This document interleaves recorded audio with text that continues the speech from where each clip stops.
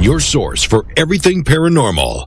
Para X. The views expressed and the opinions given by the individual host and their guests do not necessarily reflect those of Para X, its affiliates, or its sponsors.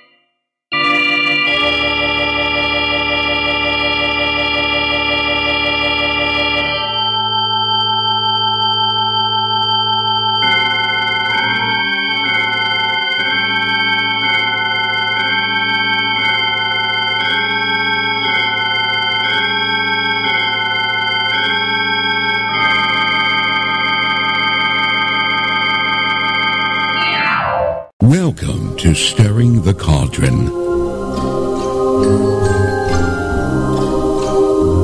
Now, here's your host, Marla Brooks.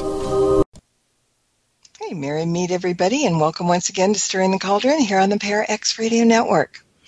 I kind of hope the opening music intrigued you because it was called uh, Supernatural Radio Studio A by Kevin MacLeod.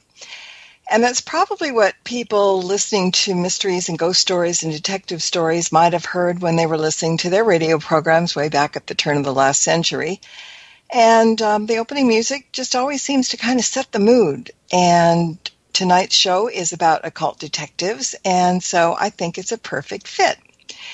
Now, Judika Illes is my guest, and I really enjoy it when she comes to visit. And not just because she's, you know, a leading authority on magic and mysticism and the occult, and the author of some of my very favorite books, like all of her encyclopedias and pretty much everything else. But she's also the editor of books like uh, The Weiser Book of, Fan- of the Fantastic and Forgotten and the Weiser Field Guide to Witches, and also the book that we're going to be talking about tonight called The Weiser Book of Occult Detectives. And I'm really anxious to get started. So, Judika, welcome back. Thank you, Marla. I love being on your show.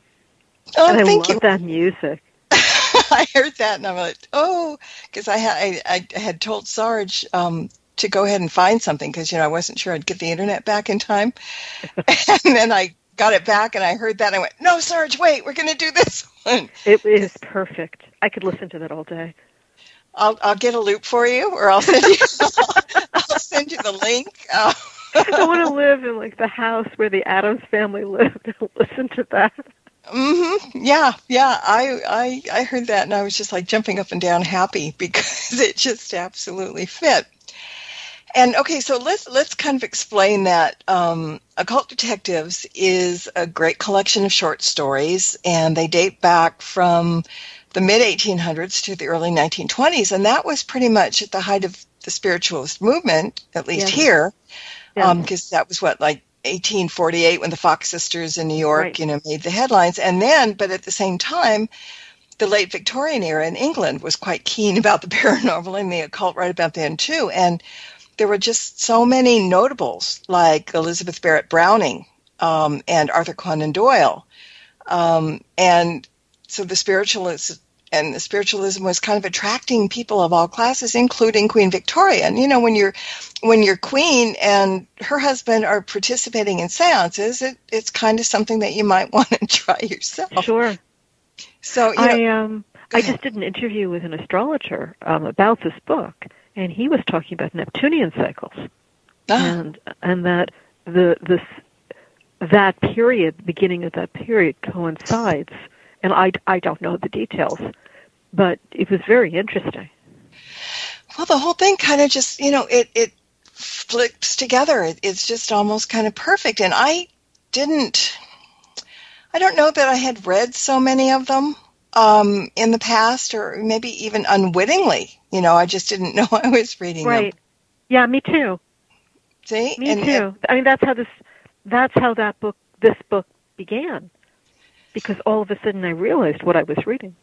See, and and I read that you know you're a lover of detective stories and mysteries yourself. So this was like you know way way up your alley. So I mean, when you were younger, were you reading things and just into mysteries and the Agatha Christie's and all those Everything. things? Yeah, and Yeah. I'm I'm a I'm an obsessive reader.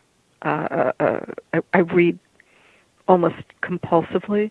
If there's Mhm. something in front of me, you know, I, I do. Re- if I'm sitting there with nothing else to read, I Uh-huh. will read the box, the back of soup cans, and you know, cereal boxes. I, I, I, you know, and I learned how to read very young, and my mother also loved mysteries. Both my parents. So, I read Agatha Christie and um, Nancy Drew, and that you know that whole genre of girl detectives. Sure, yeah. Plus, you know, you know, adult mysteries. Plus, um, we had esoteric fiction in the house. Although, you know, I I tell people when I was telling people that I, you know, what are you working on? I'm working on a book of occult detectives. People will say, "Oh, what is that?" Right. Because they don't realize they know what it is. hmm But in fact, when you start to talk about the genre, they go, "Oh yes, of course." And I read um, a Marie Corelli novel.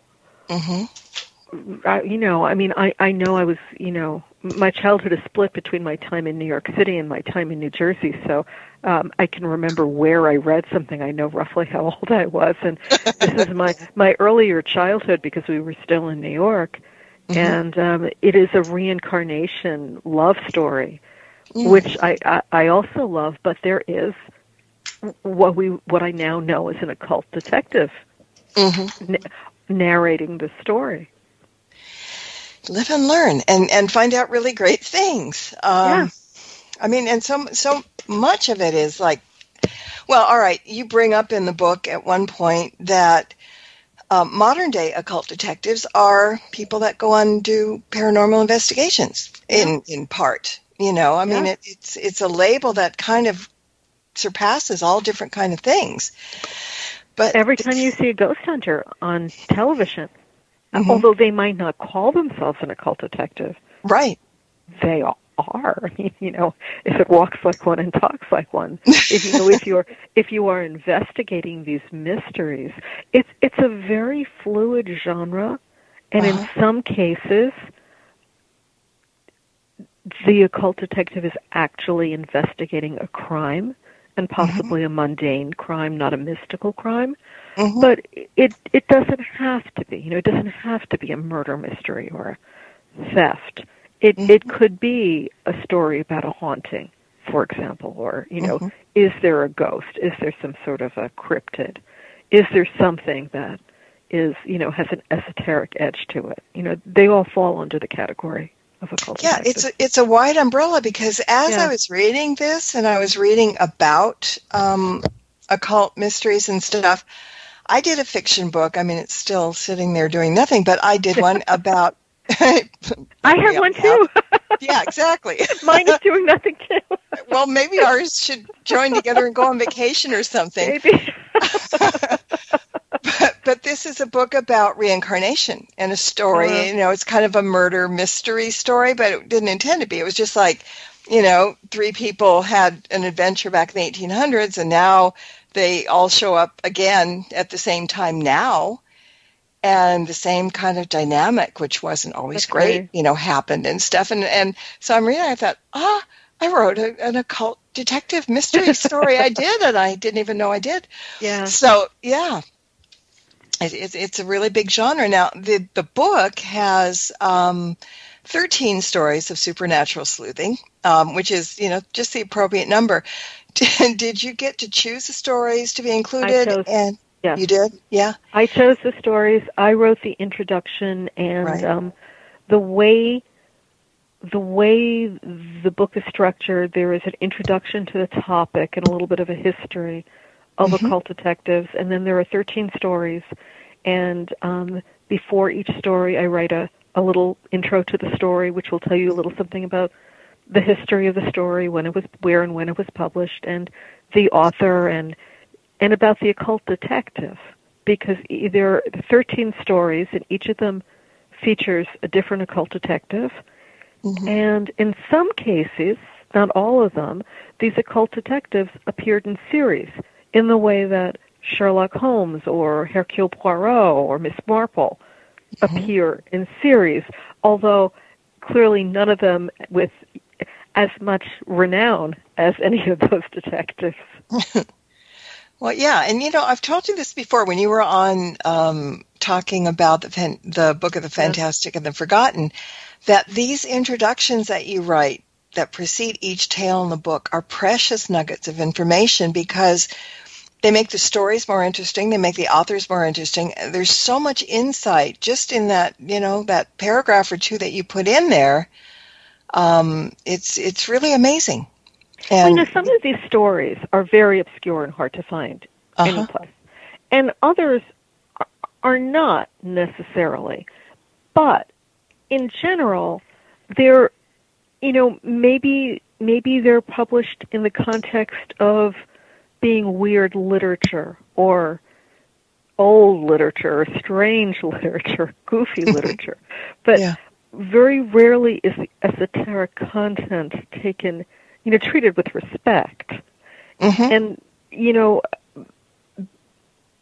that was what I wanted to do with this book, and and it's a Weiser publication. and Weiser is a publisher that specializes in esoterica, and Mhm. so um, you know, I, I wanted to present it from that standpoint because occasionally I would, you know, and I, I, I describe this in the introduction. I occasionally I, I read collections of some of these authors, and you know, whoever is the editor clearly loves these stories, but they talk about them with they mock them and you know treat them with disrespect and it, it bothered me uh, you know i'm an occultist and i'm really i'm i feel like i'm part of the community Mhm. of either some of the authors who you know there's a dion fortune story in here there's an algernon blackwood story uh, helena blavatsky. So we have some major occultists although not all of them and Right. also of the occult detectives also. I think i Mhm. thought they you know they weren't just figures of you know humor and butts of jokes.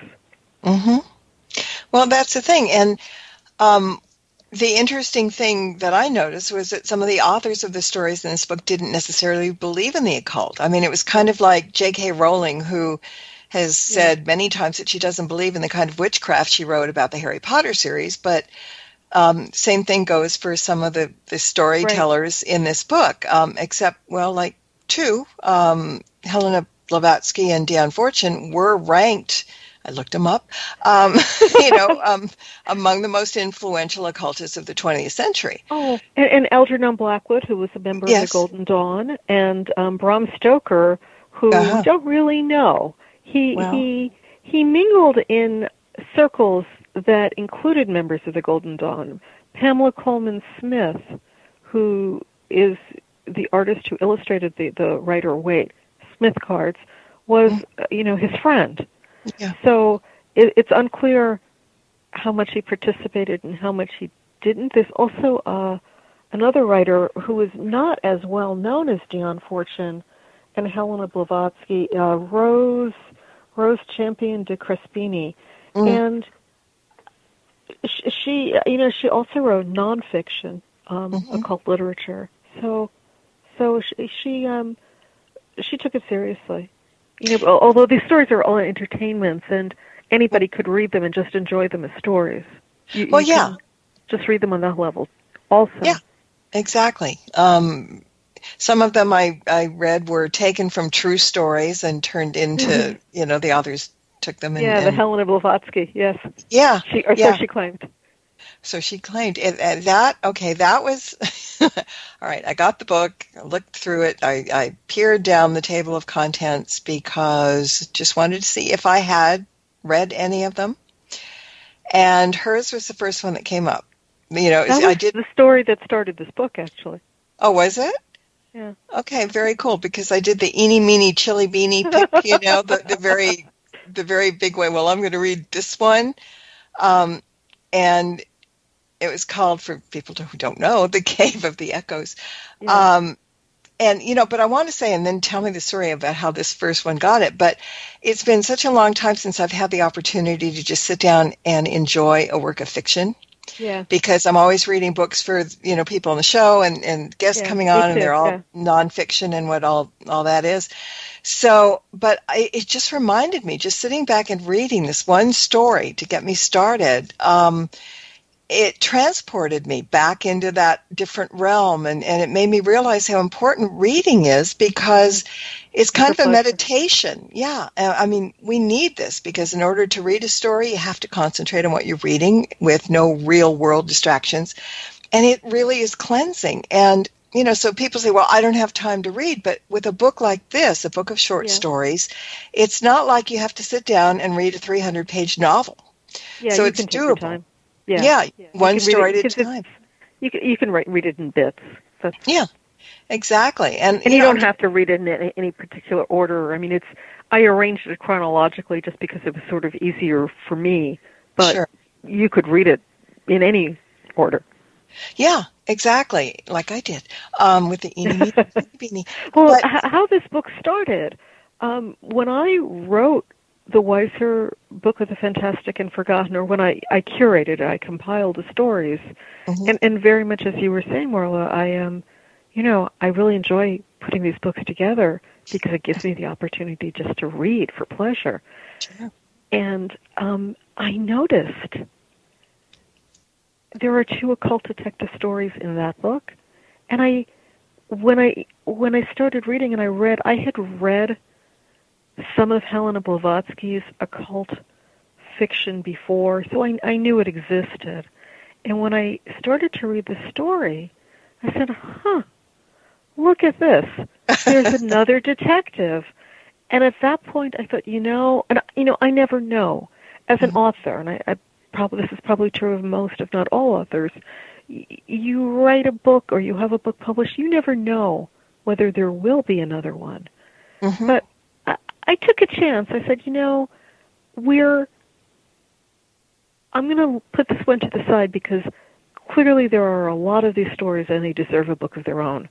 Mhm. And that was Cave of the Echoes. And then, eh, you know, the Yeah. book kind of, and then I talked them into letting me do this.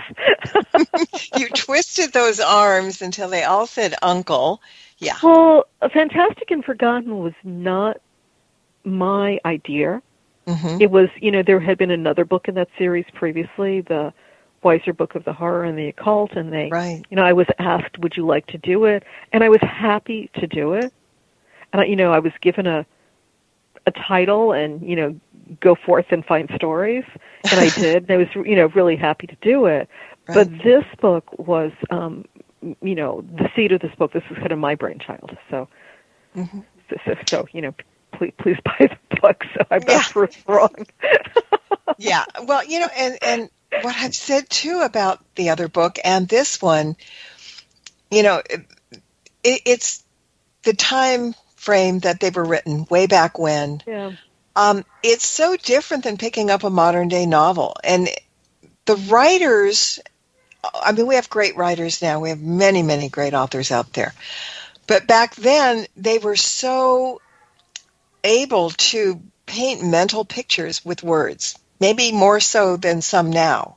I think they had to in some cases, and I I do a lot of reading out loud, and you know I I homeschooled my children way back when, and I you know we we read out loud, and authors who I really like, like Charles Dickens, you know my children and I and other kids would become impatient with, and I realized it's because of the amount of detail, Yeah. but they you know there was no television, there were no movies, they had to they had to paint a portrait. They had to show us everything with words. And so they're Mm. very, very, you know, there's a lot of attention paid to detail. hmm You know, I, I like. I do too, but you know, I wasn't used to it because I, I Yeah. swear the first Anne Rice book I read, she has that much detail in all her books. Yeah. And I was really kind of surprised at first and, and a little bit impatient, I was. Mhm. But then I came to realize, you know, as I was reading through it, that it really was kind of a different experience than reading, you know, whatever else I might have been reading. And so it was kind of, you know, she did it the old fashioned way. But here's something a little bit, not off topic, but off the book for a second.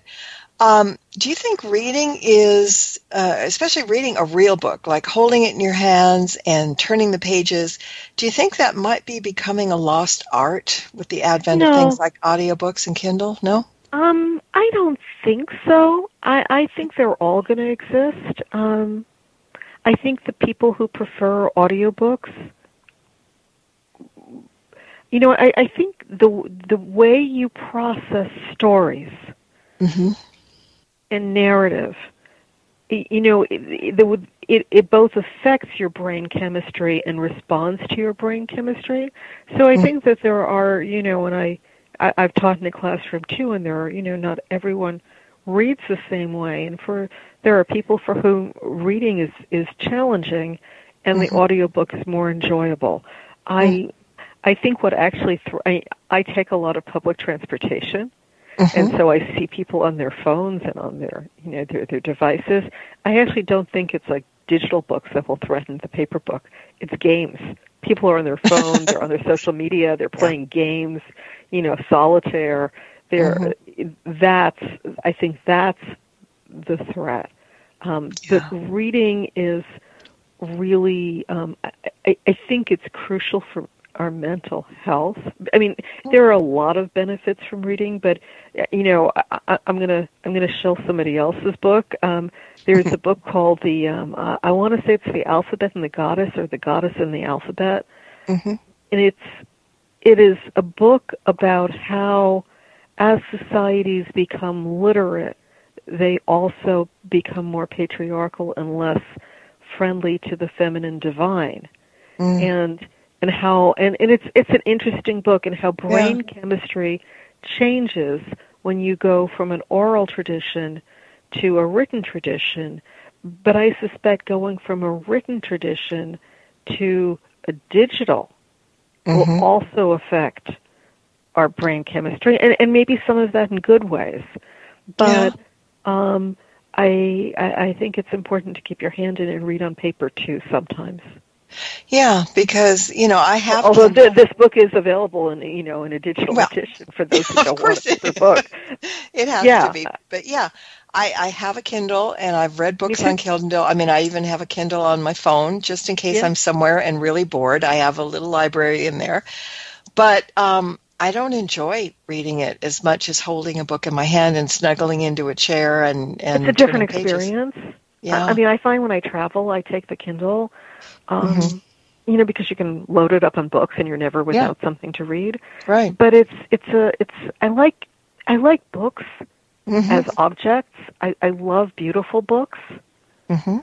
and so the book itself is you know I, I would hate to think we would that we would stop publishing these beautiful beautiful beautiful books and you know when you open a book and the, the paper it's it's a very sensual experience Yeah, I don't think books are going to go by the wayside. There are too many bibliophiles that will fight it tooth and nail. And, um, you know, I mean, one of my favorite places, and, and maybe yours, is going into an antiquarian bookstore yeah and looking at Definitely. books from two, three hundred years ago. Not quite that long, but, you know, I mean, just. sure some of It, them it's it's Disneyland. It's a book Disneyland for me, and um, I I think there are a lot more of me. i love you. like secondhand stores and, and library sales just to see see what you Mhm. can find yeah, like treasure hunting It is. It's it's wonderful, and and I know one of the things when you know I kind of lost my house and everything a long time ago. Um, I lost five bookcases worth of books, oh my and god yeah. aside from aside from the family pictures and stuff, I was brokenhearted because a lot of them aren't in print anymore. No, no, no. Um, and I, I don't think people realize how quickly books sometimes go out of print. Yeah. I um, it, it it's sort of shocking. So, um, not digital books, but if you actually want to have a paper copy and you want to get Yeah. it for a normal price, right. Yeah. you should probably get it. You, well, you can find everything on the internet now, but yeah. Um, yeah, But, but some of them sometimes for extortionate prices. And you know, you know, it's like book scalping. The, the money isn't going to either the author or the publisher or anybody who actually worked on the book. You know, the, if a if a book's list price is twenty four ninety five, and it's on eBay for five hundred dollars, uh-huh. that that's not going to to the author, the publisher, the illustrator, any of those people. No, and let me just say this this shocked the heck out of me. Years and years ago, like a hundred years ago, when we were still writing books on on slate and chisels, um, I did a celebrity cookbook. It was the first book I ever wrote that got published. It was a tiny little paperback. Um, it you know the publisher folded right after they published it. I mean, I had a few copies and whatever but I was looking, I looked it up just to see if Amazon might have had it. You know, years later, I thought, hmm, I wonder if anybody has a copy of that. You know, I always, I kept one for myself. That's the only one I've got. But I looked, and you know, it's those other sellers that you go to Mhm. to um, buy books that Amazon doesn't carry. And well, here you can find this one here. That little, you know, hundred and something page paperback on really cheap paper and you know i mean it was decent recipes and stuff but you know what i mean it was just your little beginner book um, they wanted $250 for it Oh yeah, and So- so- nobody you know i mean yeah, Yeah. but it, it it might be yeah, but you don't know why somebody wants it. Every you know, sometimes it's rare, and somebody might want it for a reason. Even, I mean, the reason there is a U.S. edition of Five Thousand Spells, my book Five Thousand Spells, Yeah. that book was published by a British division of HarperCollins, hmm who eventually stopped distributing in the United States. And I was one of their very few U.S. authors. And so for about six, you know, for a number of years, you could not obtain that book in the United States. And during that time, people were buying it on eBay for 500, 600 more dollars. And uh, eventually that came to the attention of of, of the U.S. branch of HarperCollins, who you know, who said, "Huh, yeah you know, if people are doing this, maybe we should just put out a normal price book," and, and they did. exactly But, well i um, got the i got the british one years and years ago Yeah. i'm lucky i've got a collector's item now yeah. Well, yeah, they don't make the um the original editions anymore. The Right. the original editions were these gorgeous hardcovers with a dust jacket and um you know, if you Yeah. if if you're listening and you have one, don't lend that one. no no and i I've they they're not making those anymore. Um they uh online booksellers wouldn't do free shipping Mhm. um because it's over 5 pounds in weight. yeah. and so you know and over the years they've they've come up with different covers trying to keep it uh, affordable Mm-hmm. yeah um and and you know easy to mail but those original the original ones encyclopedia of witchcraft too were just just beautiful hmm Yeah, I think both. Yeah, both both of them. I'm just looking at them. They're both the same size and the same whatever. Yeah, so I guess I got that one early on too. See, before I even knew you, I was buying your book. who, could, yeah, who, uh, who would think it? Uh, but we, maybe we should get back to this book. Um, it might be a good idea. Um, all right, in this book, it features both male and female authors, Yes. as well as male and female sleuths.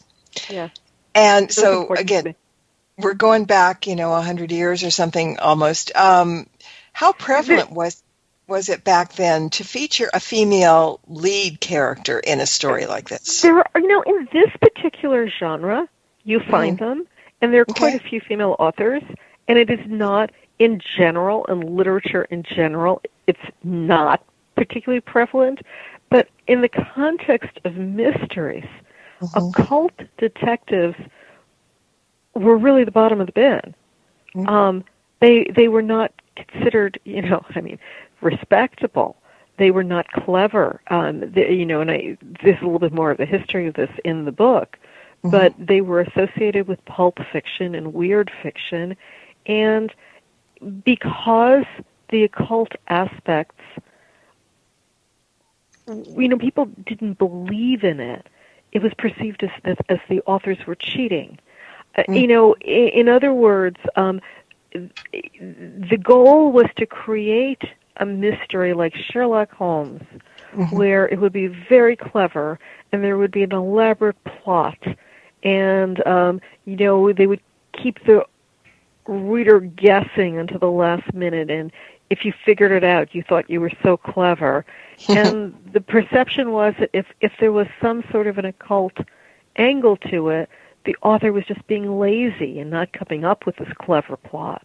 Mm. Um, y- you know, so there was quite a, this.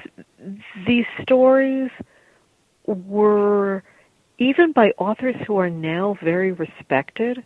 hmm These stories were perceived as disposable. They Hmm. were most of them were originally printed in magazines, um, and, and many times they they were then collected into books. Mhm. But they were originally magazines that were, you know, like your daily paper. You buy it, Yeah. you read it, you throw it away. hmm There was a name for that type of writing, but I can't remember. Uh, it was almost like the, the serials that in the silent movies, you know. Yeah. But it was Pulp Fiction. There was some other, oh, Penny somethings, Penny, Penny Dreadfuls. Yeah, yeah, yeah, yeah, yeah. something like that. Yeah, and it it just it's just kind of amazing because if you think about it, if you, I mean, the the first story that I read, The Cave of the Echoes, I kind of was waiting to see if I knew what was coming. You know, sort of, kind of. There were a couple of little hints maybe throughout, but you know, it was just kind of a really interesting thing, and I, and I was pleasantly surprised that I didn't guess it completely. You know, It, it's Um, it's it's quite a dramatic and very visual story, and I really Yes. appreciated that.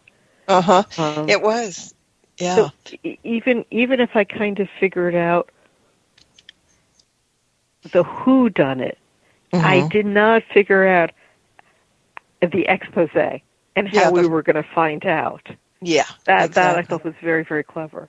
I did too, you know, and I think we all do. We start looking for clues when we know there's a mystery there. We start looking for clues, furtively Yeah. looking for clues. Yeah. Yeah, yeah, yeah, yeah. The way it played out, I'm like, wow. And then when you know, and and it was relatively short, um, Yeah. and I was kind of disappointed that it was over. it was just like, oh wow, you know, I mean, very concise. It, it's you know, it's like elements of style. The shorter, the Yeah. better, kind of thing, right? And Yeah. but it was it, it was really good. Um, Well, I'll tell you an interesting thing, and I, Mhm. you know, this is only in the context of this book. A lot of I found the stories by the women authors more concise and mhm. tighter, and I was, and I, I actually found myself wondering, is it because women, people become impatient with women faster, so they had to hurry up, so they learned to hurry up and tell the story. yeah, good point. Yeah. Mm-hmm. I mean, there there is a real modern quality to a lot of the stories that are told Yeah. by the female authors here, whereas some of the stories by the male authors, who were actually, you know, in in general, the more successful authors, um, Mhm. are you know they take their time. Well, they feel they can be of leisure in doing this because it's not done, right? Well, you know, I, I I I think that there's no doubt that they're you know they're holding the floor. They're telling the story, and we're going to listen. Exactly. And and in as far as the stories goes, I mean, the term occult detective is one that most of us can figure out, but not all occult detectives were cut from the same cloth. No, And that runs throughout the book. I mean, there are so many different kinds of stories and, and all, you know, like we said before, under that big umbrella. And, and for people who are not familiar with the concept of the occult detective, we, you are. You are, because so much modern entertainment is based around the concept of the occult detective, the X Files being, I, I think, the most famous, and Mhm. Supernatural, and Scooby Doo. Because th- there are all sorts of, there just has to be an element of the esoteric.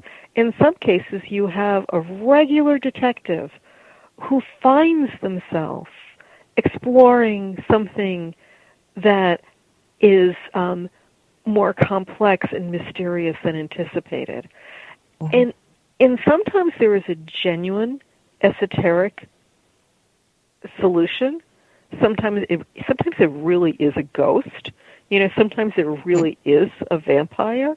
But mm-hmm. sometimes, as with Scooby Doo, what appears to be supernatural turns out to you know when you when you know you take the hood off the guy, it's just it's just it's just a greedy person, um, mm-hmm. and that still would be considered part of occult detective literature. The mm-hmm. possibility mm-hmm. that it could be esoteric, and then you have some detectives who it's not the crime or the mystery that is esoteric; it's the actual detective, where they are taking, um, you know, in addition to deductive reasoning and good observational skills, they may have some sort of um, an occult skill. They may be clairvoyant, or you know, uh, we there's a dream detective here, which I just love. I love the concept of the dream detective who mm-hmm. goes to the scene of the crime and goes to sleep and dreams the solution. Mm-hmm. and um, you know, there's a palmist. There's there's a murder mystery solved by uh, a palmist. So you know, and it's and it's actually you know it's it's a murder, but it takes mm-hmm. a palmist to figure it out. Mm-hmm. Yeah, I mean it, it it's so many possibilities that it there's like something for everybody. You know, it really yeah. is. Um, do you think that there were more women involved in and or practicing occultism back in the day when these stories were written than men? I don't know. I don't mm. know. I don't know what the statistics are. It's yeah. hard to say. Um, as with, you know, and I talk about this a little bit in my Encyclopedia of Witchcraft, it is mm-hmm. hard to say because, as the saying goes, Anonymous was a woman. Yeah. So the more renowned members have until recently been men, but I suspect that the numbers may actually be in favor of women. Mm-hmm. Although, you know, not not necessarily the most famous people. Right, but but you know, go back in history, and mostly, you know, you hear about witches as being women, and well, it, even now, I mean, if you go to yeah. an occult conference, if you go to, you know, if you take a class, um, mm-hmm. you know, proportionally, it, you know, I mean, and I, we can argue about why this is or this isn't, but, right. um, you know, proportionally, you'll have a larger number of women. Mm-hmm. I, and I really think there is an equal amount of men hiding in the reeds. You know, um, probably.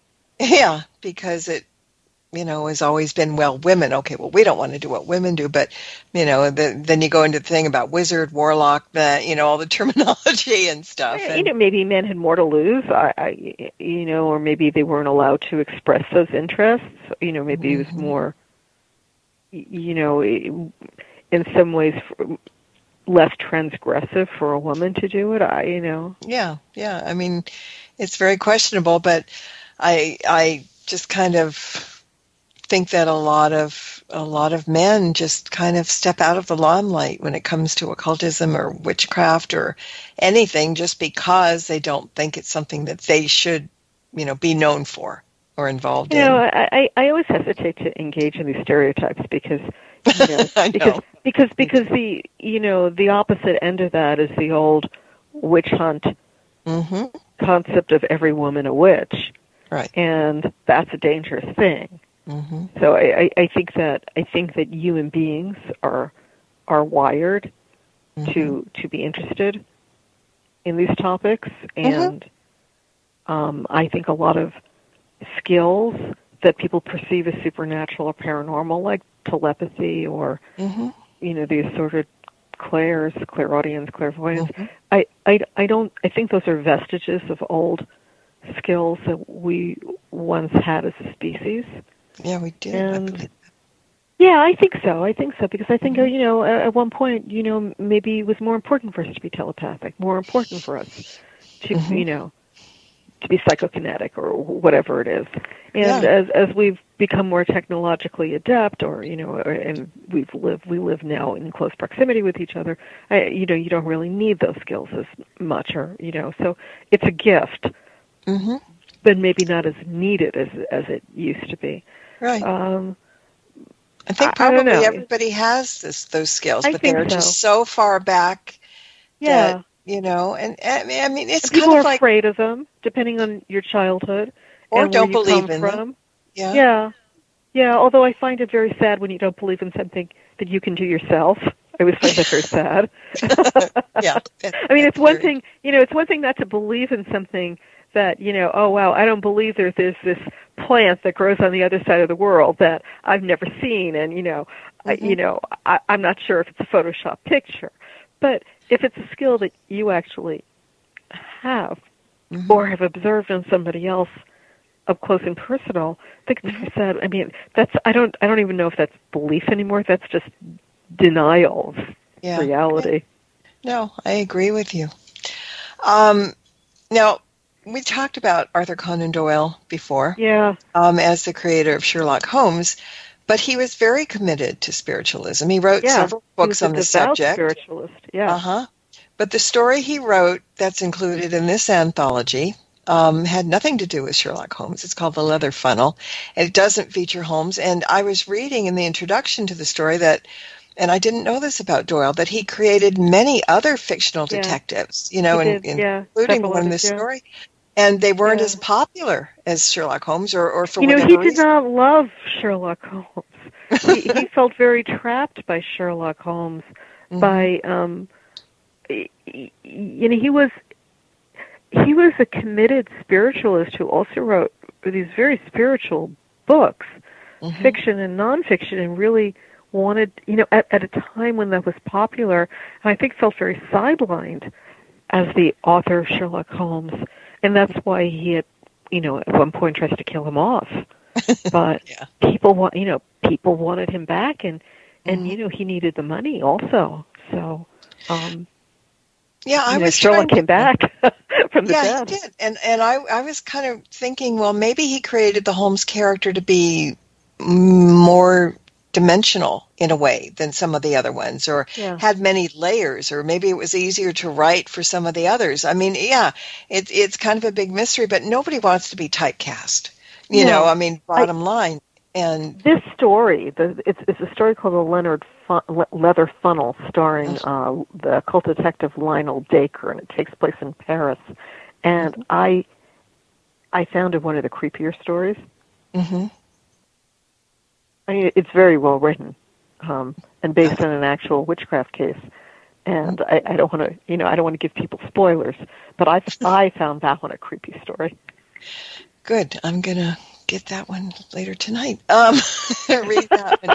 Yeah, I mean, I love creepy stories and things like that. It just was it was curious to me because, like I said, I don't know that much about occult detectives and and stuff. And I now that I realize that I probably have read more than I thought I had, but Yeah. I didn't know that I, I fell into the the thing that Conan Doyle was typecast as you know the guy that everybody's going to know Sherlock Holmes, Arthur Conan Doyle, and Everybody and for- does, sure. And forget everything else. So I was really happy to find out about that. That kind of, you know, made me smile. See, this is the thing. I learn stuff from your book, and I hate to admit it, but every time I read your books, I learn a lot. And um, no, no, don't, no, no, no, no. You know, I always think that's not a wasted day when you learn something. Like No. every day, like I was caught. Every day you should try to learn something. Mhm. So, like you know, at the end of the day, like, did you learn anything? So, Yeah. if I can be of service, that makes me really happy. Oh, you are, yeah. You've you've increased my brain capacity quite a bit over the years.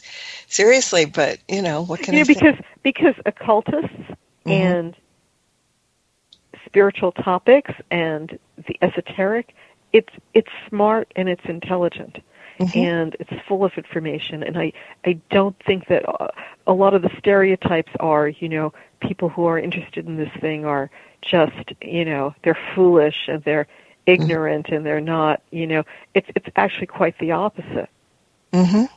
I, I find most people who are interested in these topics quite well read, and it and it makes you think, Mhm. and makes you consider possibilities, and, and Yes. that's I, I I think that's important. And I just posted my favorite saying on Facebook the other day. You know, I'm paraphrasing, but it's like it's a shame when people live in the black and white because there's so much more to find in the grays. You know, Yeah. Yeah. And I think that's true. And it does. I was going to say it does make you think when you read this kind of thing, and, Yeah. and it it kind of shakes up the brain cells, Yeah, I think which so. is which is you know a good thing.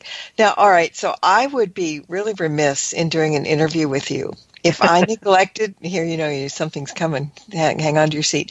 Um, if I neglected to point out something that immediately caught my eye and made me chuckle. And just to set the record straight, so as not to confuse some people, witches do actually chuckle at times as well as cackle. As Let- well as cackle. yeah, let's make that let's, let's make that pretty clear. We can be versatile, right? All right. But we have a um, wide range. We do. Yeah, we can even chortle at times. Um, but that's a whole other story. Um, but this time the chuckle came in the press release before I even opened the book.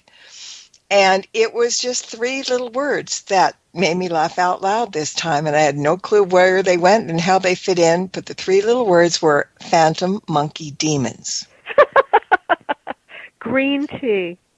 All right. So tell me The about The story tell- is green tea, and I don't want to give away too much of the story, but Okay. there is a story in here called Green Tea by um, it's a second story in the book um, by Sheridan Le Fanu, who is more famous as the author of Carmilla, which is uh, a vampire novella. And I'm going to be really honest with you. I wanted to include Carmilla because I love that novella, and it features the same occult detective, Dr. Hesselius. Um, it, Dracula, a lot of people think that Van Helsing is the first occult detective, but the name of Van Helsing was a little, but Bram Stoker was a friend of Sheridan Le Fanu, and um, Van Helsing is a little bit of an anagram of uh, Dr. Hesselius. I mean, there's a whole thing in in there, but um, the story's too long and I couldn't I wouldn't have been able to fit 13 stories in here we would have been down to like 5 and you know Mm. I, that that would have been you know it's I don't know maybe it would have been disappointing to have so few stories so uh, I am a lover of tea I Uh-huh. drink tea all day long black tea green tea white tea um you know if it's tea I like it and Mhm. so um I drink it in medicinal doses and uh I, I found the story a little concerning originally because what happens when you drink too much green tea? and and what will you see? As opposed to the pink elephants you might see if you drink other Oh. things. Well, Oh. well, um, three words: phantom, Uh, monkey, demon. demons. Oh my God, that is hysterical. Yeah. Uh-huh. I wonder how much is too much. How I, I- you know how much do you have to dose yourself before you see the demons? The Well, there, there is demons? there is actually a physician who wrote who wrote um I, I there's a little um footnote in the book because I actually found a physician who who commented on on the story for that reason and I don't want to give it away but um but I, I sleep better at night now you know those of us who who perhaps indulge too much in in Camellia sinensis we're okay. It's going to be okay. Oh. That's that's good because you know I I will always find something that just stops me in my tracks. oh I'm glad. I'm glad. You know, I'm I mean, we'll go back to the you know the the saints and whatever and and Babalu, that guy, you know, and the Lucy thing, and I mean, every book of yours that I pick up that we've talked about, there have been you know two little words, three little words, something strange. Um, It's the Yeah, story and- Green Tea, and that is that is a thought provoking story.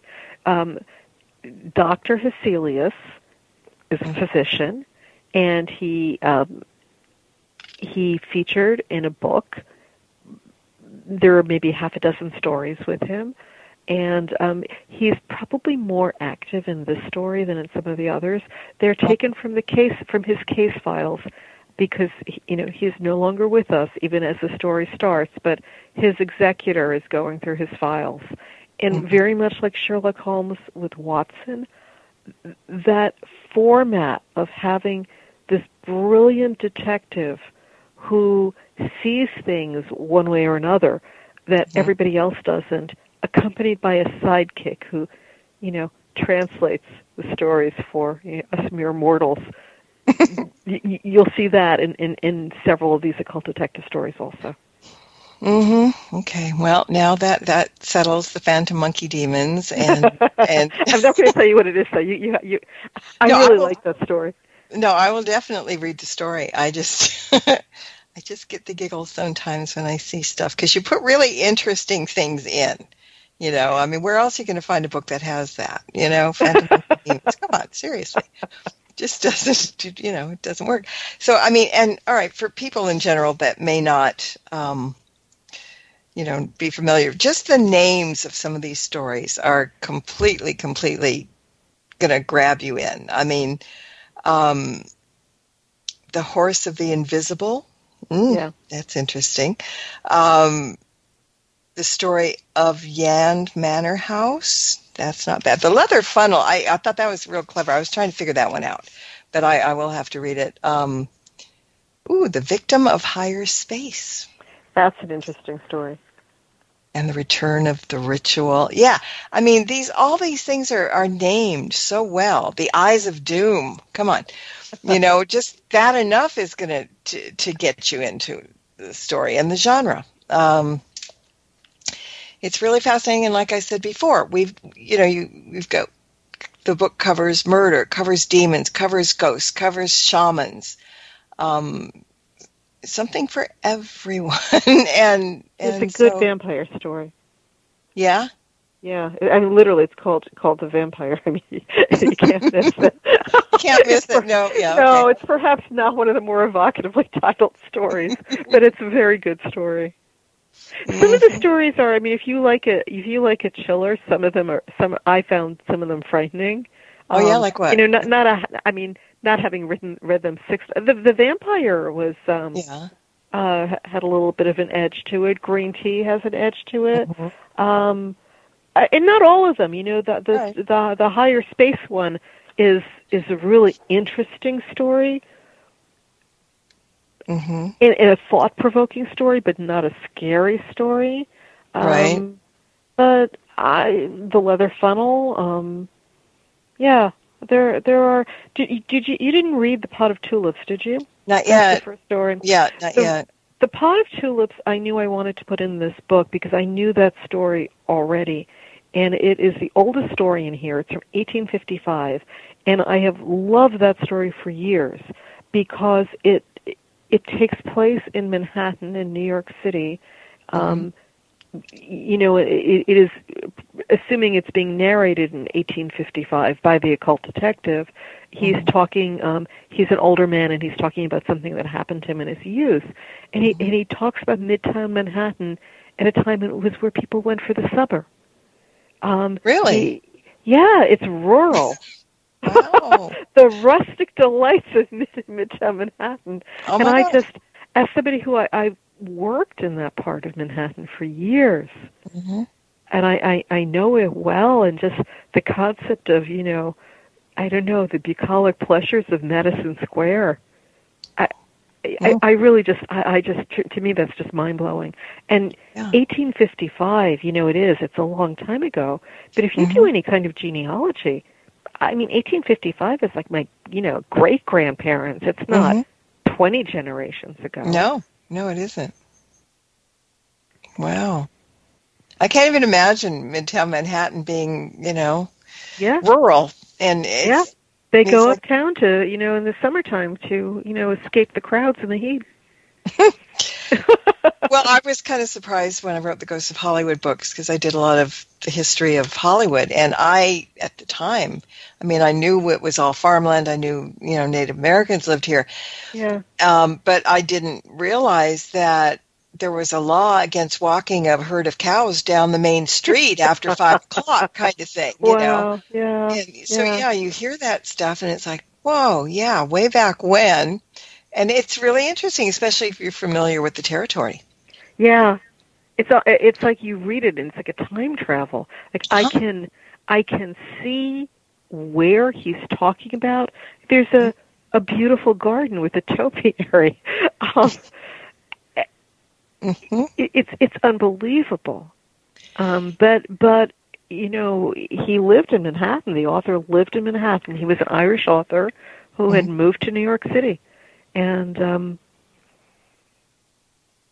That's you know, he, he it's it's he- it's not. He was he was writing fiction, but he was writing something that was um, true to its time. Yeah, I mean it- it's you don't need the TARDIS to travel when you can read a book. Seriously, Right. Yeah. yeah, yeah. I mean, as much as I would like to be the companion and you know hang out, um, you know that's not going to happen. So I'll just pick up a book and and do the same thing. yeah, and we're yeah. running a little short now. God, it just goes by so much so fast when you're here. yeah. Um, so, are you going to take a hiatus from your busy schedule all over the place for the holidays, or are you going to still be keeping up the same hectic schedule? No, I, I I'm off the road. I don't like traveling in the winter because I don't like the snow. Um, Mhm. and, and and you know flights get canceled. I I don't Right. Mm-hmm. I don't like it. So I am off the road till the spring, and I'm going to try to get some writing of my own done, and uh yeah, and just just uh hibernate. Well, that's good. And you know, I usually, you know very well that I ask my guests where people can find them and where they can find their books and the classes and the events and the workshops and all the rest. But I'm guessing that it's an easier bet for some like you just to give out your website address because everything they need to know is Oh, right there. Yeah, although my poor website, it, it really needs to be updated. I don't even have my new book on there, and I, I have to put my events up. But my my website is uh, my name www dot j u d i k a i l l e s dot com, and that will link you to my Facebook and my Twitter, which are more up to date. Um, but yeah, that's one of my plans for the winter is to get all that stuff up and running because I've been I've been running around too much and, and things have fallen by the wayside. And the I book know. is available really wherever wherever fine books are My sold. books are sold. Yeah. Yeah, absolutely.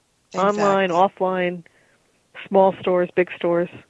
Yeah. And if you and- can't find my book or anybody else's book, Mhm. y- you could ask you can ask a bookseller to order it for you. They should not charge you anything extra for it Right. um, because they just sometimes can't keep a, a, a wide stock on their shelves. But Mm-hmm. most booksellers are happy to get you a book if you're not in too much of a hurry. And I think it's important to um, support our independent independent booksellers as well. You know. Yeah. Um, so yeah, that's that's a very good deal. All right, so you can be found on Facebook, you can be found on Twitter, you can be found at your website, and you know it was really nice to talk about a, a fiction thing this yeah, time. You it's know, always nice to talk with you, Marla. Really. well, thank you, and and you know I feel the same way. And so, are you working on anything that I can look forward to yet? I hope so. Um, I, I'm, I, I hope so. I'm working on what hopefully will be another big book. Um, Right. But but um, you know, I I, I keep my secrets until, sometimes until they're ready to be revealed. Yes, yes, that's fine. I do the same. Well, thank you, thank you, thank you for um, popping in and spending the hour with me and everybody else. you. And you know, it won't be the last time. I hope not. and I want to thank everybody for listening in tonight as well, whether you're listening live or you're going to be listening on the podcast and all podcasts and all things you can find at marlabrooks.com. Everything you need, books and things, everything I just said about Judika's stuff, you can all find on my, my thing too. So one stop shop to find all the good information. So until next time, everybody, blessed be and merry meet again. Good night. This has been another edition of Stirring the Cauldron with Marla Brooks. Be sure to tune in next week at this same time for another great guest and more cauldron stirring. Any rebroadcast or other use of this program without explicit permission is strictly prohibited. Copyright 2014. Moonlight Hall by Kevin MacLeod, licensed through Incompetech.com.